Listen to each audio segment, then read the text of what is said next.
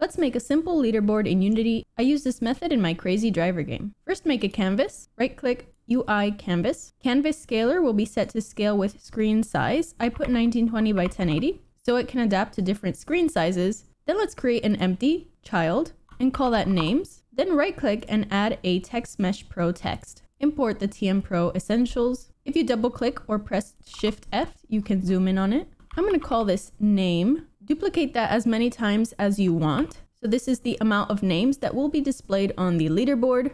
Then under the names, let's add a vertical layout group, which puts the child game objects evenly spaced in a vertical direction, which you can change the settings here, such as the padding and the spacing. Now click on the names and duplicate that, Control D. Press F2 to rename that to scores, and then let's move that next to the names. I'm going to select all of the children game objects with shift and click and rename them to score. Now you can adjust them on your screen wherever you want with the rect transform. If I want them on the right side, I can press shift and alt and click and position them wherever I want. Then let's right click on the canvas and make a UI input field. I'm going to increase the scale this will be where the user enters their name. And I'm going to set the position of this to the left with Shift and Alt, which also sets the pivot of the UI object. Also going to right click and create a UI button, which I'm going to click the drop down and replace the button text with a little arrow. And in the button, I'm going to reduce the width and then increase the scale. This will act as the submit button when the user wants to submit their name to the leaderboard. Additionally, you can add a UI text with the current score of the player so they know before they submit, increase the width, and adjust the positioning. Once that's done, let's create a new script. I'm going to create a scripts folder, right click create C sharp script and call it leaderboard. Going to erase that. We need a reference to our text, so we can put using TM Pro, which is the Text Mesh Pro namespace. We can do a serialized field, private, list of Text Mesh Pro UGUI, which is our text. We can call that names. Then let's copy that and call this one scores. Now let's make a leaderboard. Let's make a function called public void get leaderboard.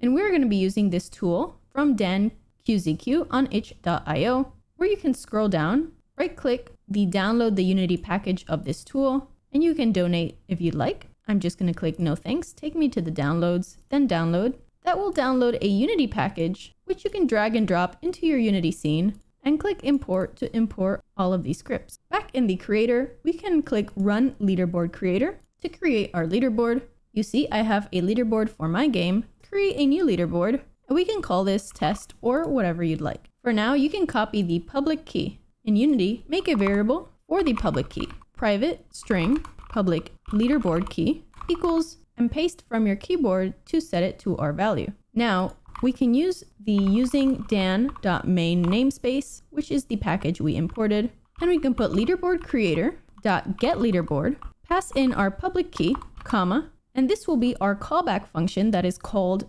when our request for getting the leaderboard is completed. Since we do have to query the intranet, this does take some time to complete and the value isn't returned immediately, so we have to wait for that value to be returned. And in this case, we can make a callback function right inside of this function, put parentheses and take in a parameter, which you can name whatever you want.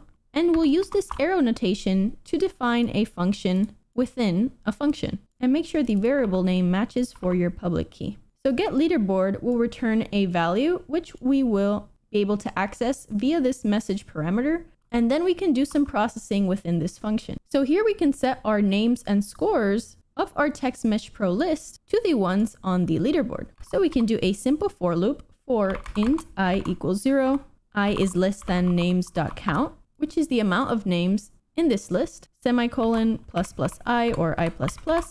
And so now we will iterate over each of these names and replace it with our values from the leaderboard that we fetched. So now we can do names at i dot text. So we'll assign the text equal to message at i dot username. And you can see we can copy that and instead of the names, we can put scores. And instead of username, we could put score here. However, this is an integer, so we have to convert it to a string by putting dot to string. Now let's make a function for uploading to the leaderboard. We can do public void set leaderboard entry. And we can take in a username, string username, and the score, in score. Now we can use the leaderboard creator, leaderboard creator, dot upload new entry, pass in our public key, public leaderboard key, our name, username, and the score. Then we can add another comma, and this will be our callback function that is called when this function is complete. So let's put in a parameter called message, which we won't actually be using. So you could put an underscore if you'd like. Then once we've added our username to the leaderboard, we want to update our leaderboard so the user can see the changes. And for that, we can just call our get leaderboard function again. As an aside, if you want to limit the amount of characters that a person's username can be, you can either do the processing here by doing something like username.substring 0 to 4, which returns a string of length 4, or you can do it directly on the input, so the player cannot input more than 4 characters in the input field. Additionally, I like to add a little if statement here and check if this username is a bad word. So I have an array of bad words, which I will not show on the video, but here we check if our name is included in the bad words array with this function index of. If it is, it will return an index greater than negative 1. If not, it will return negative 1. So if it isn't negative 1, then we don't want to add this name to the leaderboard because it is a bad word. Okay, back in Unity, let's create a new game object and call that leaderboard manager. And let's attach our script, leaderboard. Now let's assign our Text Mesh Pro game objects to our lists. So I'm going to go in the inspector on the top right, click this little lock icon. So once we click another game object, it won't change our view of the inspector. Click on the first name, shift click on the last name and drag that into the names list. And do the same with the scores. Click on the first one, shift click on the last one and drag that into our scores. You can unlock the inspector now. We actually need a reference to our current text from the input field and our score. And you can do that in the leaderboard script. However, just to keep things clean, I'll just create a new script and call this score manager. We can erase this starting code here and put using TM Pro and erase these two using statements that we won't be using. Along within the leaderboard, we can erase the using system.collections. Here we can have a reference to our score, which in your case, it might differ how you pass in the score to the leaderboard because you'll probably have that score stored in a script that relates to the gameplay. In this case, this is an example, so I'm just putting it in its own little script. So I'm to put private TextMesh Pro UGUI, call this input score. And then you'll see we have an input field here, which is a TextMesh Pro input field. So we can do serialized field private, and then it's called TMP underscored input field. We can call that input name. Then we can do a public void submit score. And now we need to call our leaderboard and pass in our input score and name. So we can get a reference to our leaderboard component, or we can send an event, or we can make this static. In my case, I'm just going to send an event. Using Unity Engine events, we can send a public Unity event and pass in a string and an integer and call this submit score event. And then here we can do submit score event dot invoke. Then we can pass in our input name dot text and our input score dot text. And we are taking in an integer here. So in this case, I'm just going to put int.parse, which turns a string into an integer. And so essentially what we're doing here is that we're getting a reference to our input score, our input name. Then once we click the button to submit, we will shoot out an event that the leaderboard will be listening to. And that event will contain a string and an integer, which is what the leaderboard accepts as its parameters. And so that way we can communicate with the leaderboard without having a direct reference to the leaderboard. And this is just a good coding standard overall, where you want to try to reduce the amount of direct dependencies you have between your components to avoid hassles later on, such as null references, and also to assist in debugging. Now in the button, I'm just going to add in the score manager.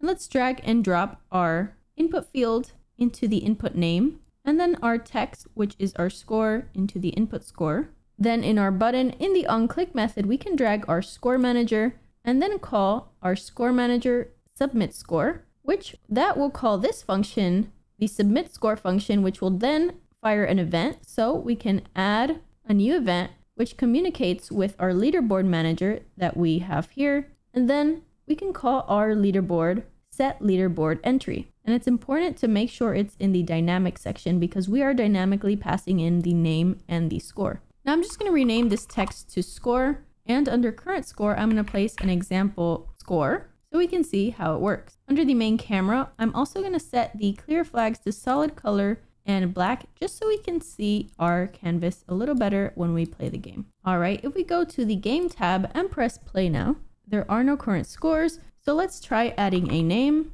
and pressing the submit button. As you can see, there is an error. If we click on the error message, it's because there's not enough entries in the leaderboard to populate our list. So we can do an if statement in the for loop. However, to reduce the amount of times that we check, we can just do a simple calculation up here and put int loop length equals. Now we can see which one is bigger. So message.length, if the length of our current leaderboard is less than the amount of entries that we have, so names.count, and this is a way of doing a short if else statement. Then we choose the message.length, else we choose the names.count.